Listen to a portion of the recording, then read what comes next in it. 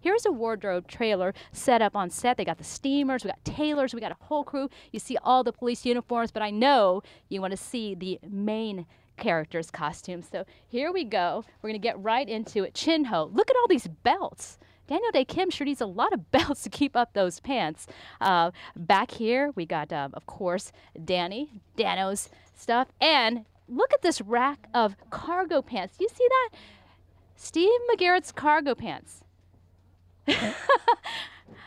Ramsey, that's a little creepy, okay? You know, I'm an Alex O'Loughlin fan, but I'm not going to stuff one of these. No, I'm just kidding.